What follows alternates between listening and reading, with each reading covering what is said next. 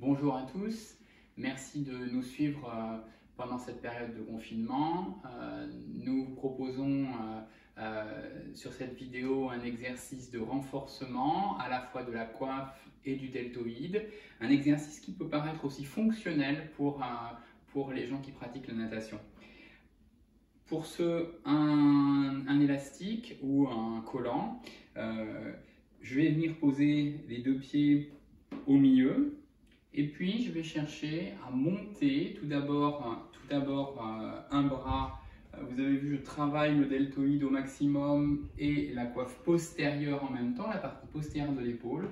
Et puis, je vais descendre lentement devant, freiner, freiner ce mouvement jusqu'au bout. Et alternativement, je vais reproduire le même mouvement de l'autre côté, un peu comme si je nageais le crawl avec une résistance inversée. Je vais chercher loin, je n'hésite pas à pousser, à décaler mon omoplate vers le haut pour aller jusqu'au bout du mouvement. Pareil là, je recommence. Côté opposé, je monte, je pousse au maximum avec l'omoplate, je freine ce retour. C'est un exercice à exécuter uniquement s'il ne vous déclenche pas de douleur. Merci.